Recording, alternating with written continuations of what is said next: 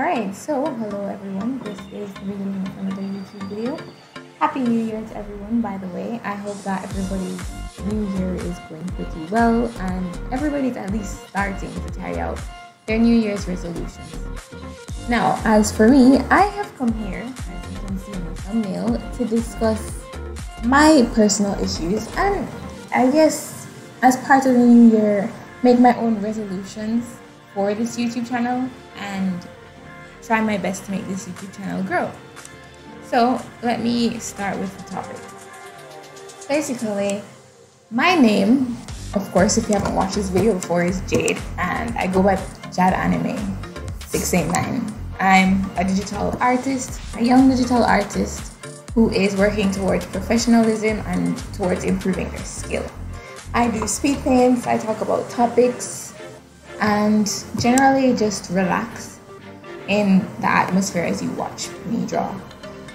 Now, as for Ethan Becker, he is an incredible artist and a teacher. And by no means am I saying that he's a bad person at all.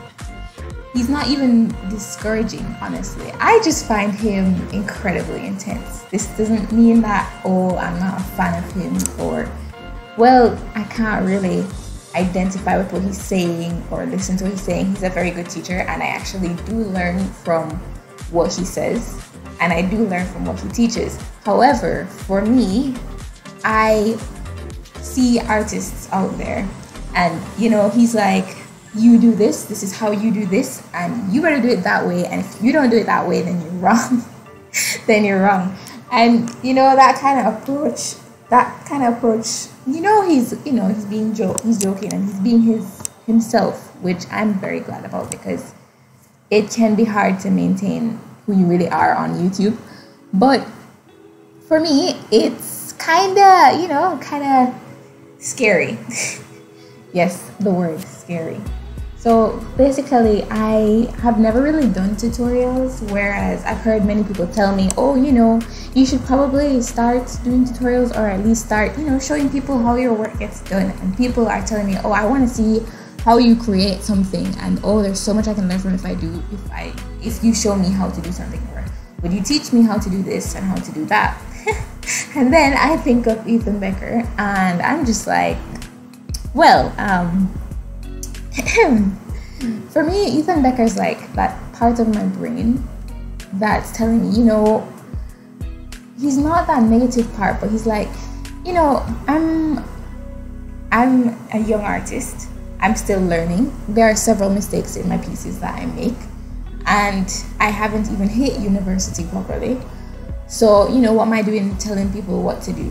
Now, I'm not necessarily saying that artists can't show how they produce their work because there's several artists out there that have tons of styles and ways of doing things and are at different levels or have different amounts of years of experience with art. And you know they're showing how they do their stuff how they do hair skin how they do proportions. And some people work with what they do. Some people like what they do. Some people find it wrong. Some people don't like it right so, you know, I should be able to, you know, just walk up to YouTube, and be like, you know, here's my art. This is how I create. This is my tutorial. But I don't want to use the word tutorial. The most I'll probably do is my speed paints or showing how I create something through my speed paints because I don't want to instruct people. The word tutorial is showing or telling someone how to do something directly and saying, all right, so this is the way I do this, and this is the way you should, or this is the way you could do this. Right? And as a result, I don't necessarily want to use the word tutorial because I feel like to use that word and at least use it confidently, you know, without feeling any guilt, I have to at least be at the level that Ethan Becker is at, or at least be at a level where I'm past university, I have a degree under my belt, that kind of stuff. Speaking of degree, by the way, degrees nowadays are not that important, and we all know that that is a fact, but however, they still do hold some value. You know, you're applying for a job, or you're even doing commissions or setting up a website, and it asks you your level of education And uh, I'm just mentioning my experience as a young artist, and I'm like, hmm, haven't really hit university yet. So I'm not necessarily, to me, I'm not necessarily fully ready to call myself a professional, much less give tutorials. You know what I mean? So for someone like Ethan Becker, who is as active and intense as that, it's kind of like I'm a bit set off from doing my own tutorials because if, say, someone like him were to come to me and be like, okay, so I see what you're doing, however, I find a mistake here, here, here, here, and here. I want to be confident in my ability as an artist and my ability as a person to say, well, you may see so here, here, and here, but proportions in humans and yada, yada, yada go like this, and this is why I do that, and so on and so forth. The way that artists do things, especially like younger artists, may not always be right. And I think he said, Ethan himself said something in one of his videos, I something about how how you have to practice the right thing instead of just constantly going day in, day out and practicing. You don't practice as an artist, you make sure you practice the right thing or something like that. Anyway, I immediately got what he was saying when I saw that, and so I don't want to teach people to practice the wrong thing. And then when they actually learn from a professional, you know, they say, "Oh, you know, you know that artist that taught me something." So I thought that was the way to do it, but you know, I'm I'm not finding that way. It's basically me just rambling on with like how I think that this is the good way for me to do it, but I don't want to dictate on that. I don't want to say this is the right way. I don't want to push people in that direction without being fully confident in myself. As an artist, really, I can be any age and teach people anything so long as I'm confident in my abilities and my knowledge of proportions and so on and so forth. And as I said, in a way, a university degree kind of has something to do with that. So, for me, Ethan Becker, even though he's intense, he's a very good teacher. Some of what he teaches genuinely helps me, and I find it very helpful, and I learn from it a lot in illustration. Now, I still, when I see myself making mistakes with proportions, um, I always think to myself, those are the moments I think, well, I'm not ready for tutorials um, I'm not ready to show people, okay, this is how you do this, this is how you do that.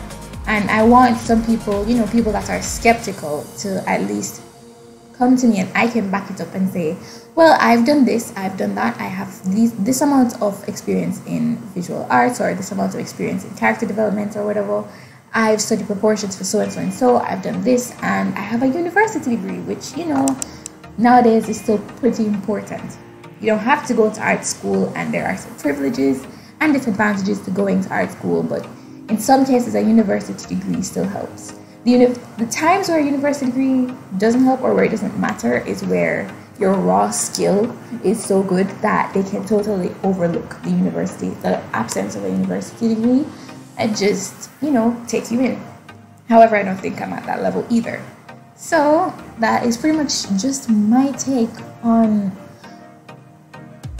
tutorials. tutorials. It's my take on tutorials and giving tutorials and why I, as a young artist especially, I'm scared of making art tutorials and instructing people on what to do. This doesn't go to say that younger artists or artists like me should not do the same thing. As a matter of fact, there's nothing wrong with sharing how you create something or how you paint something or whatever. But um, if you're not confident in yourself as an artist, then I would suggest not doing it. Because if you're not confident in yourself and you're teaching a method that you're not confident in, then, you know, why should other people be confident in it? Anyway, long story short is that is my take on it. And I also, switching topics since I'm pretty much done with this one, I hope you like my speed paint. And I hope that it was relaxing, although the conversation was a little bit more intense this time. I hope you like my speed paint and to Ethan Becker, who is an incredibly good artist.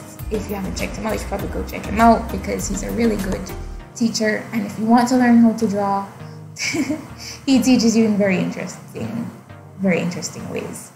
So yeah, I hope you like the end product and check my Instagram. Link is in the description below. click the notification bell, check out all my other videos, like and subscribe, and I will be seeing you later. Hope you enjoy everything. Bye!